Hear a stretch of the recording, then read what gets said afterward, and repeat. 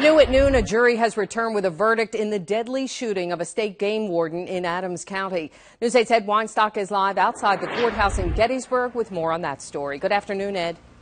Hello, Susan. Quick work by the jury. It only took about 35 minutes for the jury to bring back a verdict of guilty on all counts. 29 year old Christopher Johnson of Carroll Valley was convicted of first and third degree murder in the death of wildlife conservation officer David Grove. The sentencing phase is expected to begin around 1 o'clock this afternoon at the Adams County Courthouse, and the district attorney is seeking the death penalty. Wildlife conservation officer David Grove was gunned down in November 2010 after exchanging gunfire with Johnson. The gunfight broke out after the officer tried to arrest Johnson for poaching deer at night. It will now be up to the jury here at the courthouse to decide whether Johnson is sentenced to life in prison or death.